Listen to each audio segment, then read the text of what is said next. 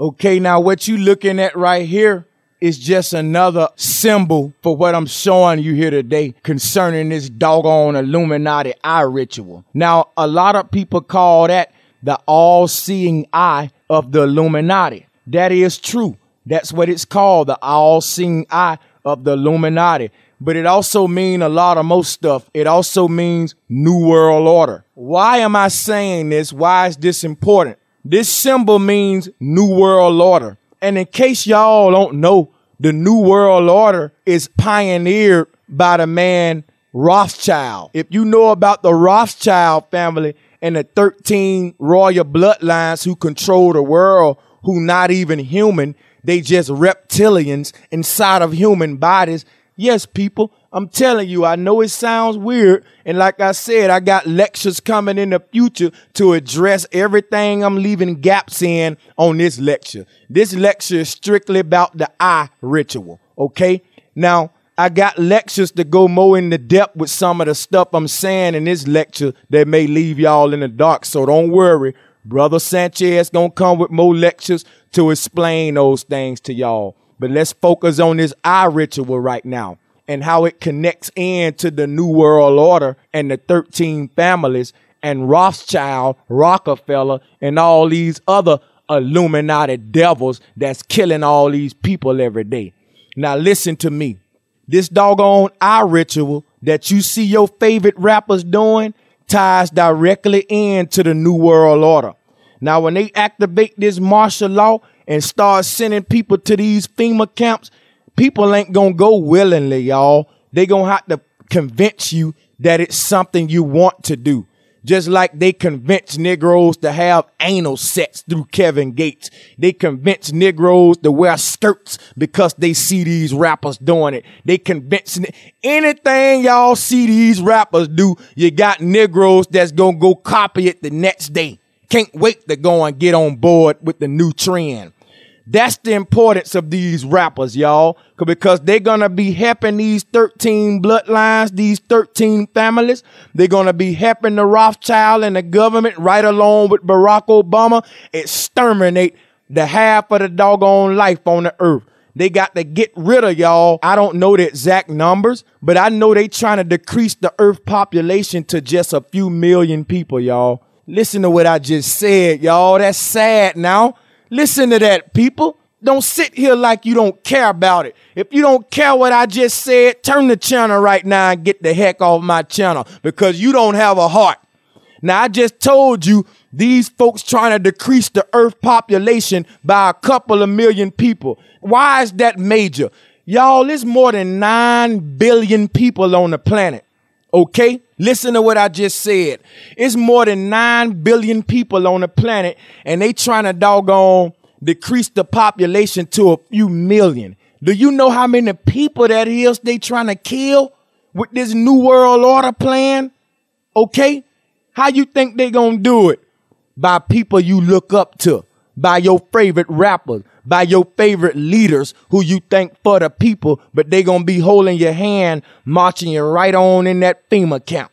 Now listen to me and stay with me and let me show you about the New World Order, the Rothschild family, but more importantly, the rap industry. I'm not getting off subject here, y'all. The rap industry is going to play a huge part in the new world order and this new takeover that they about to do. So stay with me if you in the rap music because I'm going to still continue. Now let's go. Okay. What I want to share with you aspiring rappers before I get out of here today is how the rap industry tie into the Illuminati mission and the new world order.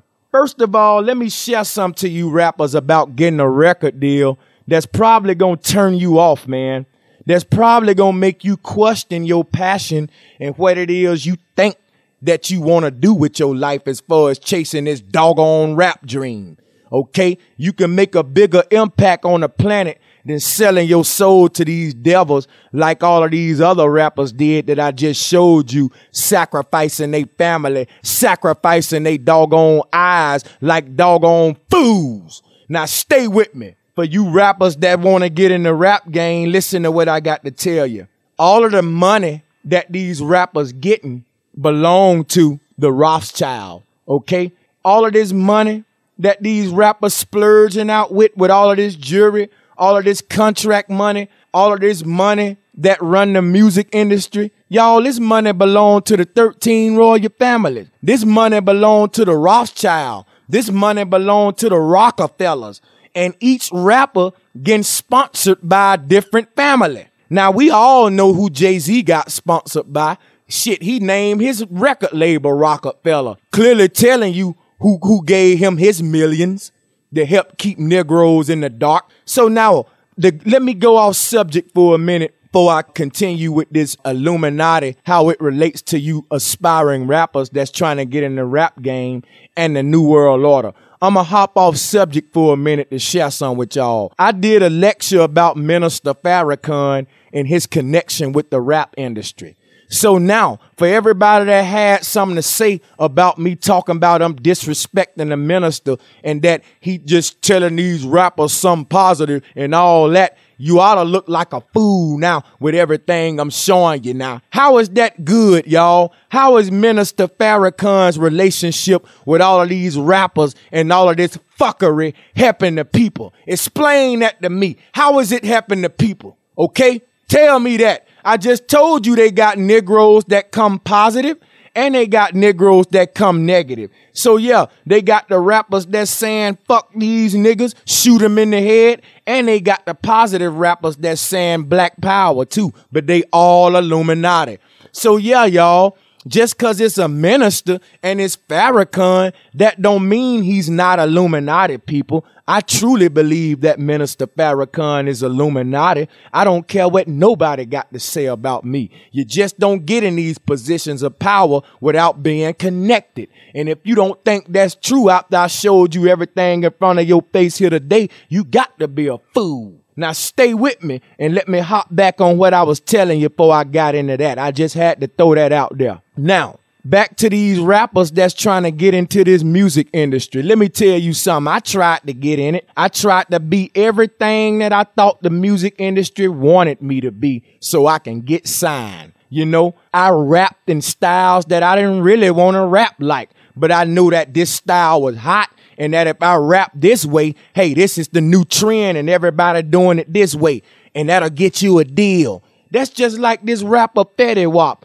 Man, he's from New Jersey and he sound like he from Atlanta. Listen, y'all, they can control who you are, man, with this stuff. Because listen, I remember back in the day when you heard a rapper from New Jersey, you didn't have to question where he from. They had their own rhythm, their own accent, and own culture. Now what they have done to the music game is simplified the shit out of it and made it so shallow that ain't no originality. When I came up, every rapper had originality. You had Mystikal, you had Silkk the Shocker, then you had got doggone OutKast along with Scarface and UGK. And guess what, y'all? Then none of them sound the same. Okay? You can put on a doggone rap verse of Mystikals and you ain't got to even know who the hell it is. When you put the verse on, you gonna know that's Mystikal. When you hear Master P rap and put the doggone song on without me telling you who it is, the moment you hear it, you know that's Master P.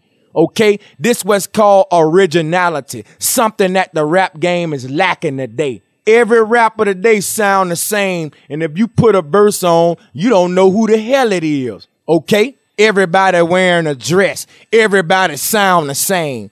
Y'all don't see what's going on?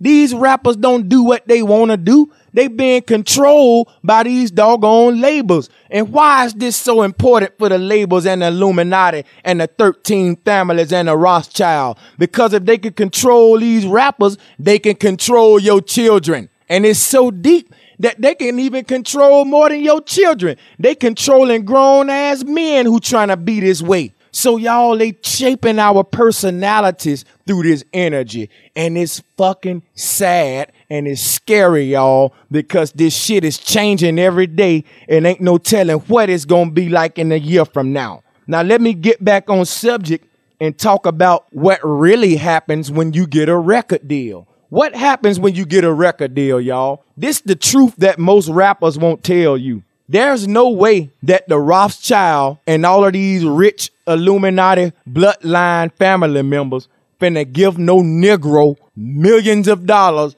and they don't know if they can trust this Negro or not. That's the importance of rituals. That's the importance of blood sacrifices and eye rituals, y'all. Because when these white men sit down, they got an agenda. They ain't signing these rap artists because, man, you sound hot. Don't be that shallow, people. When they sit down at that table to sign these young men, it's an agenda that they trying to put out there.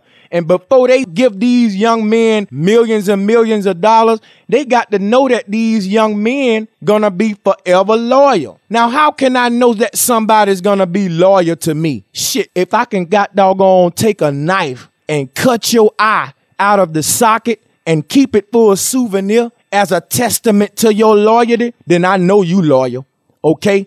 I know if a person say, Brother Sanchez, I prove myself to you by cutting my finger off or giving you my eyeball. And that person open up their hand and give me their doggone eyeball. Enough said, man. I know they loyal to me. I will give them all the millions that they want because I know they loyal to me and gonna do everything I tell them to do. So when you want to get in this rap game, remember that. Be willing to sacrifice something a lot of these rappers, they give the ultimate sacrifice. And if you sacrifice something like your mama or your father, something like that, then guess what, y'all? You're gonna be big. Cause the bigger the sacrifice, the bigger the reward. Just like rapper Kanye West sacrificed his mama. And you see that, man, he went from zero to a hundred quicker than any rapper I can fucking name. Now you got rappers been in this game for years and they ain't on the level Kanye West on. So come on now. He made the ultimate sacrifice. I'm showing y'all this cause I love you. And I used to be a rapper chasing the same thing. I see a lot of talented rappers out there and they hurting and they wondering, man, when I'm gonna get discovered. Why I ain't got a deal yet. It's a process, y'all, and I'm telling you how to do it. You go and join the Freemasons or join one of them secret societies and be willing to sacrifice something. Simple as that. It ain't about your talent. True enough, you know, talent got something to do with it. Of course, they would prefer you to be talented along with the sacrifice. Of course, now we, we know that, but I'm telling you, ultimately, it ain't got nothing to do with your talent. It's what you willing to sacrifice and how connected you are. Now, let me point out some real important before I get away from you, for you aspiring rappers. This is what happened when you sign a contract. They give you all of these millions and stuff, but guess what, y'all? Ain't none of them rappers that's millionaires can go put their hands on a million dollars. In fact, y'all, they can't go put their hands on a hundred thousand dollars. And if you don't believe what I'm telling you, listen to what I'm about to say so you can free your doggone mind. Now listen, because knowledge is power. When you sign that doggone contract, you don't get cash money. That's the whole reason for the black card. Why do they promote the hell out of this black card? Okay, cause you don't get no millions of dollars. That's the fuckery that they teach you. Can't none of these doggone rappers go put their hands on a million dollars. All of them got black cards that the labels give them. Why they give you this black card instead of cash money, y'all? So they can monitor the money. Now this is where it get real deep. They give you this black card, yo, and they let you buy whatever you want to buy. You can go out there and buy Bentleys, Rolls Royces, champagne, mansions. The Illuminati don't give a fuck what you buy on that black card, people. That's why they gave it to you. But now here's the real secret. They don't want you to have cash money. They give you the black, they give these young men black cards. Why do they give them the black card?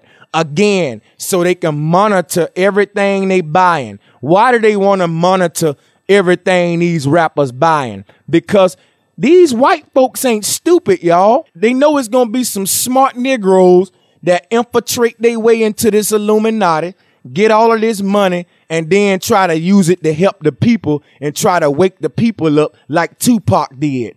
So to prevent all of that, they just get you behind a black cart. And every time you swipe something, they know about it. Now, let me tell you what happened. They don't care if you go out there and buy champagne and buy jewelry and all of that. Them people don't care about that. But the minute you go to that bank and make a big withdrawal anything over a hundred thousand dollars or even fifty thousand dollars, guess what? It's gonna be an agent knock on your door, sit you down, and say, "Come here, little Boosie. We was just looking uh at the finance records the other day, and we noticed that you made a withdrawal for a hundred thousand dollars. That's no problem or nothing, but we want to know what you're doing with it. See, y'all, these people got tabs on that money that you think they giving these young men. It ain't they money. They don't care if you go out there and splurge and all of that. But the minute you try to make a big withdrawal, that label gonna come knock on your door. Okay. And they want to know what the hell you took $50,000 out for because they don't want you to go and get that money. For example, if a rapper take $100,000 out and go try to help children in Africa or if they take a hundred thousand dollars out and go try to rebuild a ghetto, or take a hundred thousand dollars out to give it to Umar Johnson to help build a school or something. See, these white people ain't stupid. They want to know every dollar that's being spent. And that's why they get these Negroes a black card. And the minute them Negroes go to the bank and try to take out a big ass withdrawal, somebody knocking on their door asking them what the hell you taking that much money out for. So people, it's not really their money. Now, this is what I'm telling y'all. It's all an illusion, okay? It's a black card. You can't just go and withdraw no damn hundred thousand dollars. Them people gonna ask you what the hell you doing. It's part of a family. You part of a society. You sold your soul. And you can't use this money to help the people. Okay? It's them against us, people. That's what I'm telling y'all. So for all of you people that's still caught up into the race war, this video ought to show you that it's so much deeper, man, because you got our own people that's taking these oaths and taking these sacrifices and helping these 13 bloodlines, helping these white people, these Illuminati, not only kill black people, but kill white people too. Listen, when the New World Order go down, they ain't just gonna be marching black people up in them FEMA camps. They gonna be marching Americans, period up in there. That's why I keep telling y'all it's the haves versus the have nots. Now, there was a movie that came out a long time ago. Uh, I forgot the name of it, and I ain't finna pull it up because you gonna know what I'm talking about when I tell you. It was one of them movies about the world ending. And the only people that got saved in the movie when the world was ending was the rich people. The rich people went away on this big ship because all the poor people couldn't afford it. So all the world had to die while only the rich people live because they the only ones that can afford it. So there you go, y'all. It's the haves versus the have nots. I'm trying to wake your mind up and show you what's going on. Now the people in power ain't even human, y'all. I know that's scary, but if you don't believe me, just look at the back of your dollar and look at that all-seeing eye that's in that pyramid and stare at that eye for a minute and tell me is that a human eye. If you look at that eye on the back of that dollar that's inside of that pyramid, you will see that that's a reptile eye. You will see that that eye got scales on it like a snake. It's not a human eye.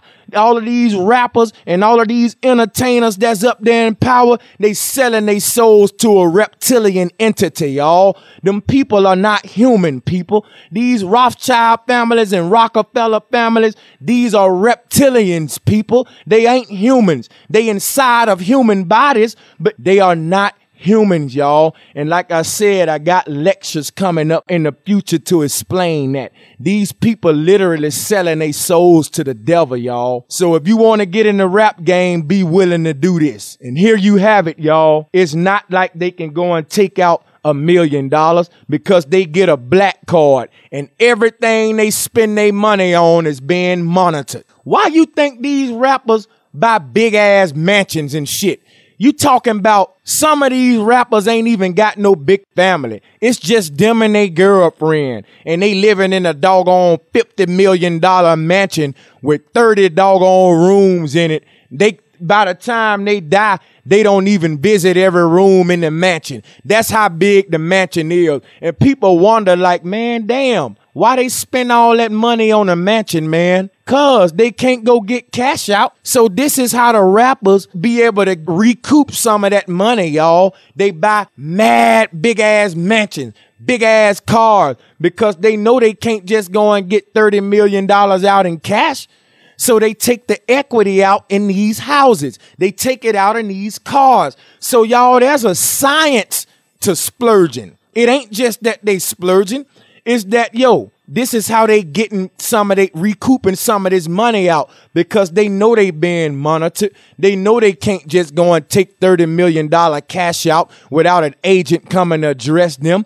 So the next best thing is, hey, well, shit, fuck it. Since they want to monitor a nigga and I can't take all this money out, fuck it. I'm going to buy the most expensive house. I'm going to spend heavy. That's how the science of splurging came about, people. It ain't just something that just started. This is the way the rappers recoup some of that money. So listen, y'all, I've been very lengthy in this lecture and I really appreciate y'all for listening to me, but I gotta wrap it up now, y'all. What you can do is go and rewind this, share it with your friends. This knowledge needs to get out, people. Share this video with your friends and put this knowledge out, y'all, because knowledge is power and people don't know this stuff that I just showed you in this video. And we got to wake up, y'all, because the ignorance is what is how they winning, y'all. The ignorance is how they winning. Now, everybody that's listening to this video got somebody in their family that's rapping and trying to get in the music industry.